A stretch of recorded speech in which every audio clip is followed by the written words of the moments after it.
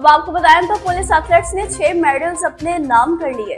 National sports hall complex Gaddafi stadium में पाँच से नौ अक्टूबर तक नेशनल डिपार्टमेंटल कराटे चैंपियनशिप का निकाद पाकिस्तान आर्मी वापदा रेलवे, हायर एजुकेशन कमीशन और पाकिस्तान पुलिस टीम्स के खिलाड़ियों ने मुकाबलों में हिस्सा लिया। नेशनल चैंपियनशिप में मर्द खातन के तकरीबन दो सौ खिलाड़ियों ने शिरकत की। पाकिस्तान पुलिस टीम के खिलाड़ियों ने शानदार खेल का मुजाहरा किया। तीन सिल्वर और तीन ब्राउन्स मेडल्स अपने नाम किए। पैटर्न पाकिस्तान पुलिस प्राय कराचे team additional I operation Punjab, Shahzada Sultan की मेडल जीतने वाले खिलाड़ियों से मुलाकात additional I pressure Punjab Shahzada Sultan ने शानदार कारकर्दगी का मुजाहरा करने पर खिलाड़ियों को मुबारकबाद दी। मेडल जीतने वाले खिलाड़ियों की कैश इनामत और सीसी वन सर्टिफिकेट से हौसला अफजाई भी की जाएगी